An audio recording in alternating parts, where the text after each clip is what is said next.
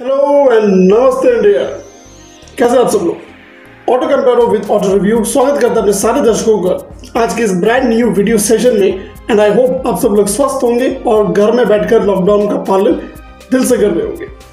तो मेरे एक व्यूअर ने पिछले वीडियो में रिक्वेस्ट की थी कि कि आप एक ऐसी टॉपिक पे वीडियो बनाइए जिसमें हम लोग को गाड़ी खरीदने के लिए जो ऑप्शंस होते हैं मतलब हमारे पास एक गाड़ी नहीं तो दूसरी गाड़ी मतलब ऑप्शंस बहुत सारे हो, लेकिन उनके ऊपर बजट भी हमें थोड़ा सा सही से पता चल पाए तो बहुत ज़्यादा अच्छा हो जाएगा। उनको थोड़ी ज़्यादा हेल्प हो जाएगी। तो उसी चीज़ को ध्यान में रखते हुए मैं आज आप लोगों के लिए एक अच्छी कंटेंटफुल एक पूरे कंटेंट के बेस्ड वीडियो लेके आ रहा हूँ, जिसमें आपको काफ़ी ज़्यादा मदद मिलेगी गाड़ी खरीदने के दौरान। तो इस वीडियो के टॉपिक से जैसे आप लोगों ने टाइटल से समझ में समझ में आ गया होगा कि आज हम पाँच से दस लाख के रेंज में आने वाली गाड़ियों के बारे में बात करेंगे। अब चाहे वो हैचबैक हो प्रीमियम हैचबैक हो कॉम्पैक्ट सेडान हो या फिर कॉम्पैक्ट हो। तो इन चारों कैटेगरी की गाड़ी को मैंने अ, क्या बोलते हैं शॉर्टलिस्ट किया है और top ten best value for money गाड़ियों को मैंने अपने लिस्ट में लिए अपने ओपिनियन लिस्ट में लिए। और बताऊँगा इन सब गाड़ियों की खूबियाँ और अच्छाइयाँ और किस गाड़ी के ऑल्टरनेटिव्स क्या हो सकते हैं वो भी बताऊँगा इन द एंड तो चलिए बिना किसी देरी के शुरू करते हैं आज के ये वीडियो सेशन और अगर आप इस चैनल पर नए हैं तो सब्सक्राइब ज़रूर करिएगा। पसंद आया वीडियो तो लाइक करिएगा, नहीं पसंद आया डिसलाइक कर दीजिएगा एंड में और शेयर कर दीजिएगा। और आपको लगता है कि मेरी वीडियो को शेयर मेरी वीडियो को शेयर करने लायक है तो इसको शेयर ज़रूर करिए all the social media platforms and video को एंड तक देखिएगा, क्योंकि कुछ भी अगर मिस करोगे ना, बीच में स्किप करने के बाद तो वो चीज़ आपके दिमाग में बैठेगी नहीं। और कुछ भी अगर मैं इंपॉर्टेंट बताता हूँ तो फिर वो मिस कर देंगे डेफिनेटली जैसे कि आप ही को ही तकलीफ़ होगी, मेरे को नहीं होगी। तो ठीक है, मैं तो अपना हंड्रेड परसेंट एफर्ट दे रहा हूँ। चलिए बिना किसी देरी के शुरू करते हैं आज के वीडियो सेशन वाइड शुरू करते हैं आज के वीडियो सेशन बिना किसी देरी के। देखिए मैंने कुछ छह पैरामीटर्स पे इन सारी गाड़ियों को जो टॉप टेन गाड़ियाँ हैं इनको एनालाइज किया है। जैसे कि looks features build quality performance practicality and the most important pricing pricing मैं लास्ट में बताऊँगा बट स्ट्रेट अवे पहले हम बात करेंगे इन टॉप टेन गाड़ियों के नाम पहले हम जान लेते हैं। कौन कौन सी गाड़ियाँ हैं? तो देखिए हैचबैक्स में जिन गाड़ियों को मैंने लिया वो है Ignis Tiago Grand Nios and the Ford Freestyle ठीक है? द प्रीमियम हैचबैक की कैटेगरी में आप देखें तो Baleno and Tata Altroz Maruti Suzuki Baleno and Tata Altroz compact sedan की कैटेगरी में जो गाड़ी आती है वो है Honda Amaze and Tata Tigor last but not the least compact S इस कैटेगरी में मैंने जिन गाड़ियों को लिया वो है Hyundai Venue and Tata Nexon आप लोग सोच रहे होंगे, मैंने कॉम्पैक्ट सेडान में डिज़ायर का क्यों नहीं लिया? क्योंकि अब इसको माइल्ड फेसिट मिलने वाला है। तो उसमें देखेंगे क्या चीज़ें चेंजेस होती है, नहीं।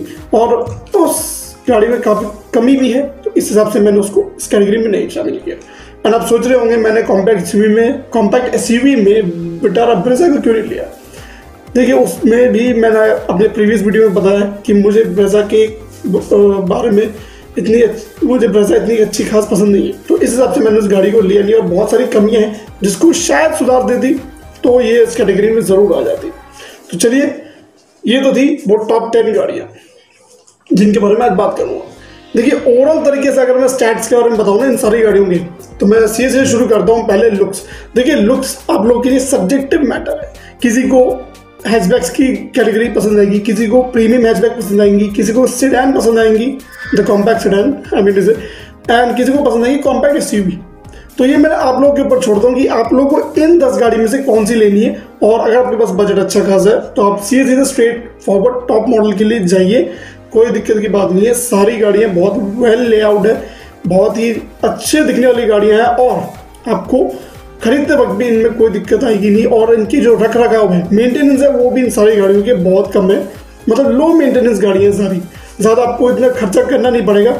आफ्टर ऑल इनके सर्विसिंग के ऊपर जब आप इनको पाँच सात सात महीने बाद, एक साल के बाद सर्विस कराते हो छः छः महीने बाद सर्विस कराते हो उतने टाइम पीरियड के इंटरवल में। तो अब बात करें इस गाड़ी में मिलने वाले फीचर्स सब गाड़ियों में। देखिए, सारी गाड़ियाँ फीचर्स से लोडेड है। कोई गाड़ी ऐसी नहीं है जो फीचर्स में कम है। लेकिन अगर आप बेस वेरिएंट लोगे तो कुछ कुछ चीज़ें आप मिस कर दोगे। श्योरली है वो तो कम होना ही है। लेकिन कुछ गाड़ियाँ हैं जिनमें फीचर्स भी अच्छे खासे मिलेंगे। जब आप इन गाड़ियों के ब्रोशर्स को देखोगे तो ध्यान से देखिएगा टॉप मॉडल और बेस वेरिएंट में क्या डिफरेंस है। उस हिसाब से आप आंक पाएँगे कि क्या हमें टॉप मॉडल लेना चाहिए या बेस वेरिएंट लेना चाहिए। या बीच का कोई वेरियंट ऐसा लीजिए जिनमें सब कुछ आपके नीड्स एंड रिक्वायरमेंट के हिसाब से आराम से मिलते हैं। और प्राइसिंग भी उसी हिसाब से हो, जो आपके बजट के अंदर बैठ जाए अब हम बात करें इनके क्या बोलते हैं बिल्ड क्वालिटी देखिए बिल्ड क्वालिटी के मामले में यहाँ पे मैं स्ट्रेट फॉरवर्ड बोलूँ तो Tata Altroz Tata Nexon Tiago Tigor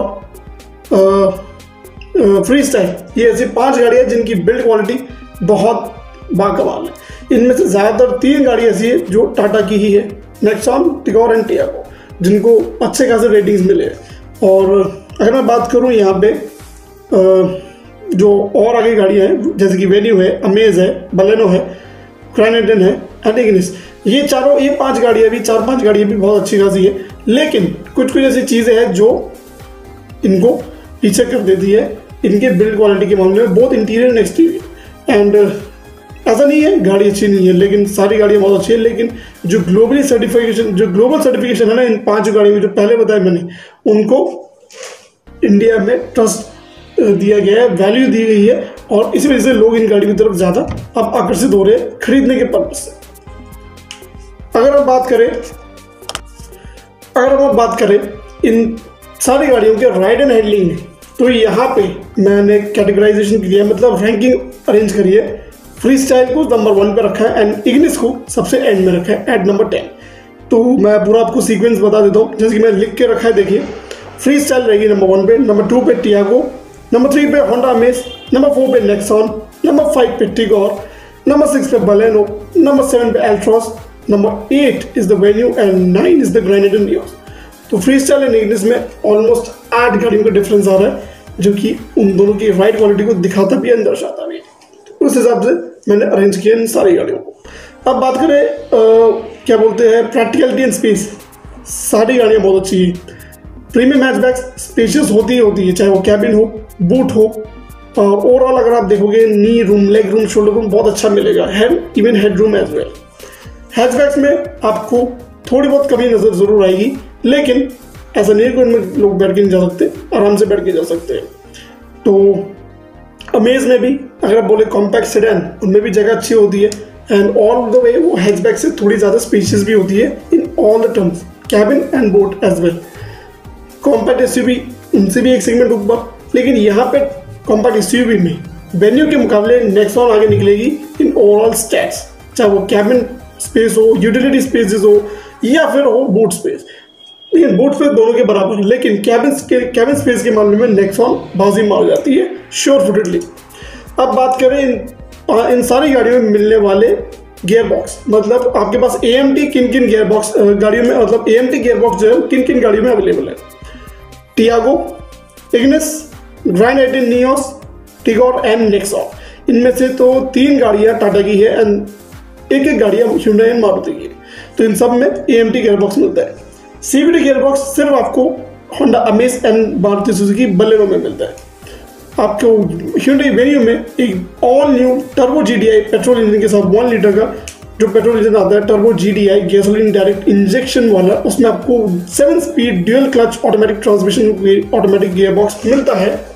और ये एक ऑनली यूनिट है। तो ये इस सेगमेंट में पहली ऐसी गाड़ी है जिसमें डीसीडी आता है। सस्ती गाड़ी में जो थोड़ी सस्ती है मतलब बारह तेरह लाख, दस लाख रुपए रेंज में आपको डीसीडी मिल जाए, इससे ज़्यादा क्या चाहिए? तो ये तो हुई, ठीक है ए एम टी के बॉक्स के बाद। परफॉर्मेंस वाइज सारी गाड़ियाँ बहुत बढ़िया है एंड स्टेबल भी सारी गाड़ियाँ जितनी भी गाड़ियों को मैंने लिए, ये राइड हैंडलिंग रोड स्टेबिलिटी हर चीज़ में बहुत अच्छी है। एंड परफॉर्मेंस के मामले में भी सारी गाड़ियाँ बहुत बढ़िया अगर मैं बात करूँ, इनमें से मारुति एंड टाटा ही ऐसी गाड़ी है जिसमें डीजल इंजन अवेलेबल नहीं है।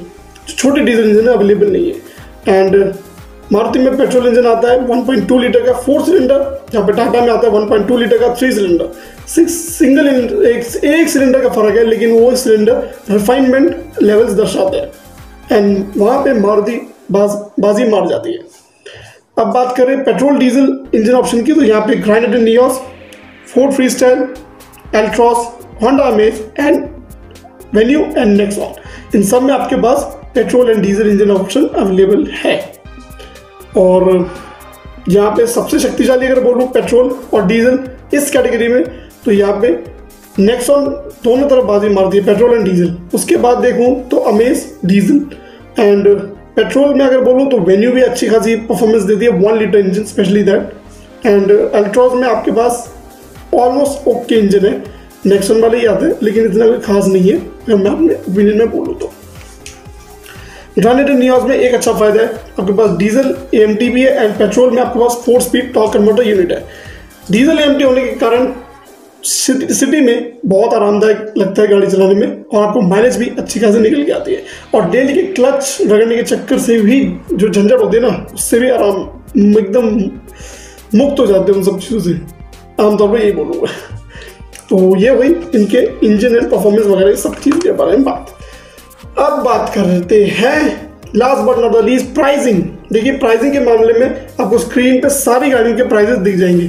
तो मैं ज़्यादा बोलूँगा नहीं, आप लोग को प्राइजेस सारे दिख जाएँगे और उसी हिसाब से आप लोग डिसाइड करिएगा कि आपको कौन सी गाड़ी लेनी चाहिए अपने बजट के हिसाब से। जो आप लोग को सही लगे, उसी की तरफ़ जाइएगा। और अगर आपके पास ऐसे कोई और ऑल्टरनेटिव है आपके माइंड में तो कमेंट करके ज़रूर बताइएगा। उसको भी मैं अगले वीडियो में ज़रूर कभी इसे डिस्कस करूँगा, अलग से बना तो चलिए सारे डिटेल्स मैंने आप लोग को प्रोवाइड कर दिए एंड आई होप आप लोग को पसंद ज़रूर आएगा आज के ये वीडियो क्योंकि मैंने काफ़ी सोच समझ के वीडियो बनाया है अपने उन दर्शकों के लिए, जिनको गाड़ी खरीदते वक्त बहुत सारे कन्फ्यूज़न होते हैं, बहुत सोचना पड़ जाती है कि कौन सी ले, कौन सी ना ले, हमारे बजट में बैठती है, नहीं बैठती है। तो सारी चीज़ें इसमें सॉर्ट आउट है। आप लोग इस वीडियो को देखिए एंजॉय करिए एंड आई होप आप लोगों को ये पसंद आए। शेयर करिएगा on all the social media platforms and अपने प्यार से बनाए रखें। अब मैं बहुत ज़्यादा कंपेरिजन वीडियोस भी लेके आता रहूँगा। तो ऐसे वीडियोस भी काफ़ी सारे लेके आऊँगा। लेकिन उसके लिए सब्सक्राइब तो करिए आप लोग जाके। फटाफट जाइए सब्सक्राइब करिए फॉलो करिए इंस्टाग्राम पे। आईडी आपको नीचे आ जाएगी। और अपना प्यार से बनाए रखें। और मिलते हैं नेक्स्ट वीडियो सेशन में। तब तक के लिए स्टे होम स्टे सेफ़ अपना ध्यान रखिए। तब तक इस लॉकडाउन के पीरियड में। और मिलते हैं अगले वीडियो में। तब तक के लिए जय हिंद। धन्यवाद एंड शबा मिलते हैं बहुत जल्द इन माई नेक्स्ट व्लॉग